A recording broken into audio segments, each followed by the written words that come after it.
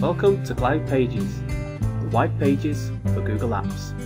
In today's short video, we're going to show you how to configure Cloud Pages, Single Sign-On and the customized login screen. So start off by selecting the Settings option.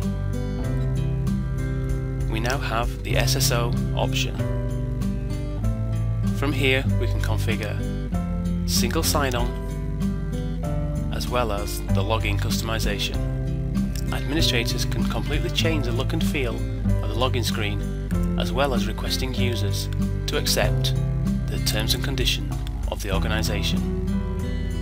So just update this policy and Cloud Pages is now ready to control your single sign-on and the customised login screen. So now we just go to our Gmail interface which will redirect us through to Cloud Pages.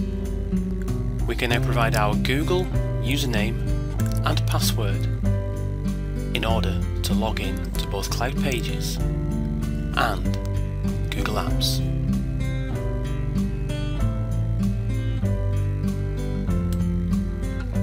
Upon logging in, the company's terms and conditions are clearly displayed for the user.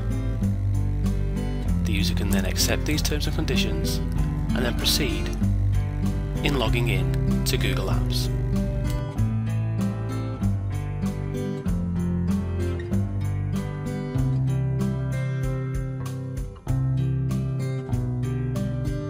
But what happens if our users forget their passwords?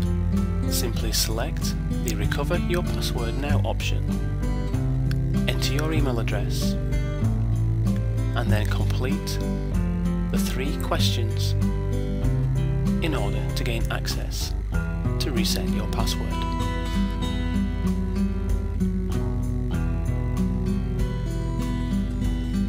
We'll notice here that in addition to just resetting our password, we also have to apply to the company's password policy.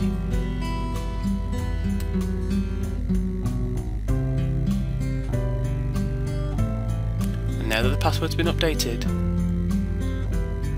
we can now re-enter our username and password that we've just created to gain access to Google Apps.